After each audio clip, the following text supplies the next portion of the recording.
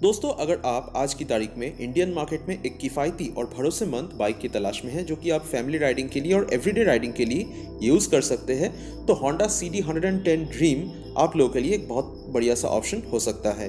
दोस्तों, ये जो आप कलर देख रहे हैं, ये black blue dual tone colour shade में है और इस कलर वेरिएंट का ही मैं आप लोगों को आज रिव्यू करके दिखाऊँगा। नमस्कार दोस्तों, आप देख रहे थे बंगाल राइडर यूट्यूब चैनल मैं हूँ आपका होस्ट अरिजीत और मैंने ये वीडियो शूट किया है ऑटो स्मार्ट कोना हावड़ा में, जिनके शोरूम के सारे डिटेल्स आपको डिस्क्रिप्शन बॉक्स में मिलेगा। तो आप इनसे कॉन्टैक्ट कर सकते हैं अगर आप हावड़ा या कोलकाता से है। और अगर आप पहली बार हमारे चैनल में हैं तो सब्सक्राइब करना ना भूलिए, साथ में बेल आइकॉन दबा के हमारे सारे लेटेस्ट अपडेट से सबसे पहले बने है तो दोस्तों होंडा सी डी ड्रीम का लगभग तेरह से चौदह हज़ार रुपये इंक्रीज हो चुका है as compare to the B S four model और ये बी एस सिक्स मॉडल में आपको बहुत सारी चीज़ें यहाँ पे देखने को मिल जाएगा, जो कि मैं पिछले, मेरे जो C D hundred and ten के बी एस सिक्स के रिव्यू वीडियोस है उसमें मैं ऑलरेडी बता चुका हूँ। सबसे पहले एक शोरूम प्राइस आपको बता दूँ कि ये जो आप स्टैंडर्ड मॉडल देख रहे हैं इसका लगभग 64,500 के आसपास एक शोरूम प्राइस है आज की तारीख में। एग्जैक्ट ऑन रोड प्राइस जानने के लिए आप ज़रूर शोरूम के दिए हुए नंबर पर कॉल कर सकते हैं। इसमें handle bar switch gear engine engine में रिफाइनमेंट किया गया है और इसी के साथ साथ DC headlamp longer and more spacious seat new switch gear और इसी के साथ साथ अपडेटेड ग्राफिक्स और बहुत सारी आपको यहाँ पे चेंजेस देखने को मिल जाएगा। सबसे पहले दोस्तों, अगर हम इंजन की बात कर लेते हैं तो अभी भी वही इंजन यहाँ पे रिटेन किया गया है, लेकिन अभी इसको प्रोग्राम फ्यूल इंजेक्शन दिया गया है और इसमें बी एस सिक्स कंप्लायंस दे दिया गया है।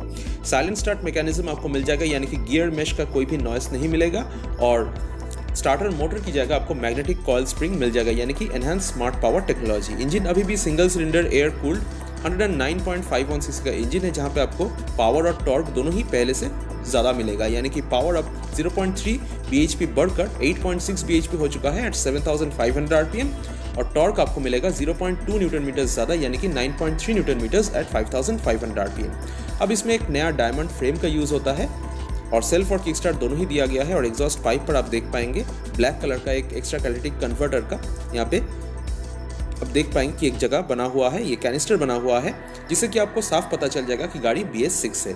और इसमें आपको किक स्टार्ट मिल जाएगा, जो कि बहुत ही अच्छी बात है कम्यूटर बाइक को देखते हुए।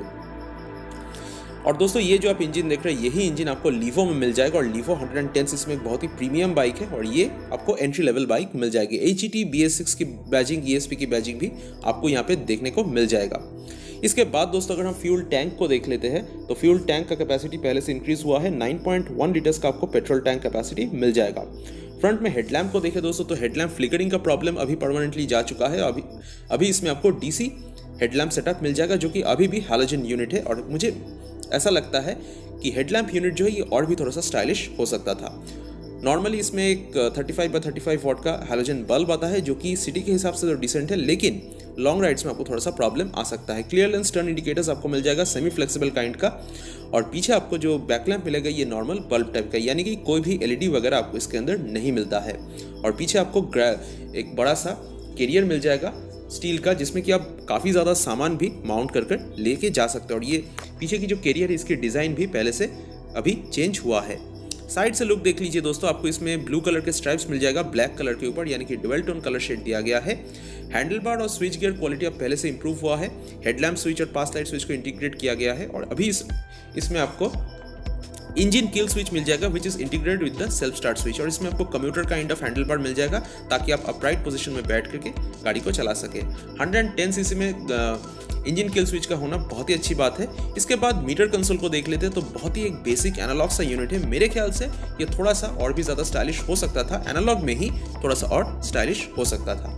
इसमें आपको नॉर्मली स्पीडोमीटर फ्यूल गेज और ऑडोमीटर मिल जाता है। सारे टेल टेल लाइट्स के साथ। टैंक को देखें दोस्तों तो बिल्कुल ही स्लीक यहाँ पे एक टैंक दिया गया है। होंडा का एक स्टिकर आपको मिल जाएगा ग्राफिक्स वगैरह मिल जाएगा। मेटल का टैंक है और इसके ऊपर क्रोम में आपको टैंक लिड यानी कि पेट्रोल टैंक कवर इसके अंदर देखने को मिल जाता है। इंजन जो है दोस्तों, ये सिल्वर और ब्लैक फिनिश दोनों में ही दिया गया है। पहले से ज़्यादा लॉन्ग और स्पेशियस सीट आपको मिलेगा और सीट हाइट 790 एम है, जो कि लगभग सारे इंडियन राइडर्स जो है, इनके एवरेज हाइट के लिए काफ़ी ठीक ठाक है। ग्राउंड क्लियरेंस पहले से कम हो चुका है यानी कि आपको अभी 162 सिक्सटी mm का ग्राउंड क्लियरेंस मिलेगा। सीट बहुत ही ज़्यादा स्पेशस और कंफर्टेबल है। पीछे जो ग्रैब हैंडल दिया गया, यानी कि जो कैरियर आता है, वो काफ़ी ज़्यादा सामान आप इसमें माउंट कर सकते हैं। पीछे आपको कार्बन फाइबर की फिनिशिंग टेल लैम्प काउल पर देखने को मिल जाएगा। दोस्तों, यहाँ पे अगर हम माइलेज की बात कर लेते हैं तो पहले से अब माइलेज इंक्रीज हो चुका है। 70 के आसपास आपको इजीली यहाँ पे माइलेज मिल जाएगा। 70 टू 75 का माइलेज आप यहाँ पे उम्मीद रख के चल सकते हैं। सी डी का ड्रीम का जो लोगो है, वो आपको साइड पैनल पर देखने को मिल जाता है।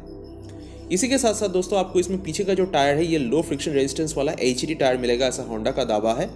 और जैसे कि मैंने आपको बताया दोस्तों इंजन में अब पहले के मुकाबले, क्योंकि यहाँ पे फ्यूल इंजेक्शन आ चुका है तो माइलेज बेटर मिलेगा और परफॉर्मेंस भी पहले से थोड़ा सा इंक्रीज हुआ है। स्मूथनेस ऑलरेडी होंडा के इंजन में पहले से ही बहुत ज़्यादा आता था, लेकिन अभी स्मूथनेस के ऊपर भी इन्होंने काम किया है।